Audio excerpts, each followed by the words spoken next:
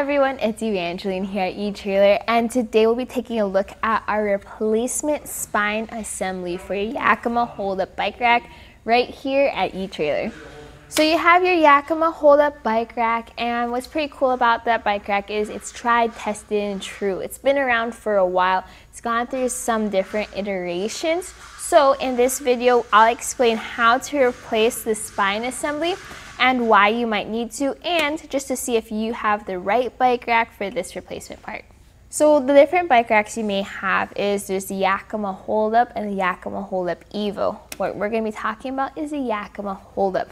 And if your bike rack is gray, then it's a different version. That's the slightly older one. And if it has a black finish like this, this is the exact replacement part you need. Also, if you have the Yakima Holdup for an inch and a quarter hitch, which has an inch and a quarter shank, you can use this assembly in order to convert it to fit into two inch hitches. And if you want to use an add-on, you're going to need the whole assembly just like this. So compared to just replacing the shank, which is I know what some people do, this replaces your spine as well. So if you want to use the Yakima Hold Up Plus 2, which adds on two bike racks to your current bike rack setup, this is what it uses since you can see how it replaces the spine and gives you that platform as well as that stability to work with your multiple bikes. So what's included and what do you need to bring for yourself? So what's included with this is the spine assembly. So that's from your red bottle cap opener to the end of the shank. It also includes the bolt that holds the spine and the shank together.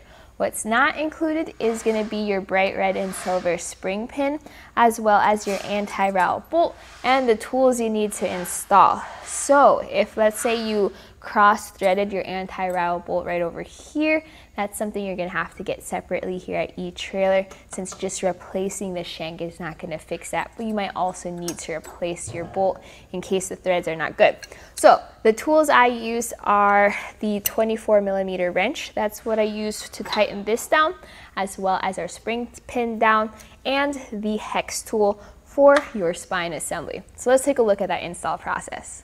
So I'll guide you through the replacement process of your spine. This may look slightly different if you had the inch and a quarter version and you're just upgrading to a two inch version. But I took off the shank on our older bike rack so you can see how that's kind of used. We still have the spine on our old bike rack, but we also have all the tools that we need. So we will start by using our hex wrench to loosen the bolts that are holding the spine. So there's going to be eight bolts right over here that need to be loosened. So that's one, two on each side. So four for each tray. So just loosen all those bolts with the hex wrench that you got from your original bike rack. So with all eight bolts released and set aside to be used again later, you can then lift the spine up off of your bike rack. So you may need to move the arms just to get yourself some clearance and make sure they're out of the way. So this should just lift up and off. So now we're going to replace this with our replacement spine. So what I could do is just the process in reverse and now put the trays or the spine onto the trays. But just to make my life a little bit easier, I'm going to put this into the hitch receiver and start from there. So this is just going to fit into our hitch receiver. You're going to have to use a 2 inch hitch receiver for this one and then tighten it down with the anti-rattle bolt.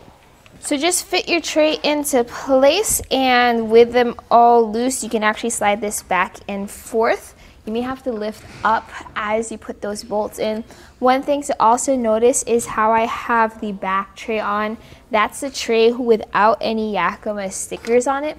And I also have it with the front wheel facing my left and the rear cradle facing my right with the front mount all the way out so it's not in the way. Now, now tighten everything down with your hex tool once you have it in the position you want it to be. So once you have all your bolts tightened down and everything looks nice and good, you can now start putting the cradles back or you're pretty much ready to load your bikes because that's it for the install. So again, just make sure to confirm that you have the right bike rack and that you're getting the correct replacement part for you. Make sure to check out our product pages here at eTrailer where we verify which bike rack web SKUs you can use and which parts you need for those different hold up iterations. So hopefully this helped you out with figuring out if you can upgrade your inch and a quarter hold up bike rack or if you can replace it. And that was a look right here at our replacement spine for your Yakima 2-inch hold-up bike racks right here at eTrailer. My name is Evangelyn and I hope you enjoyed the journey.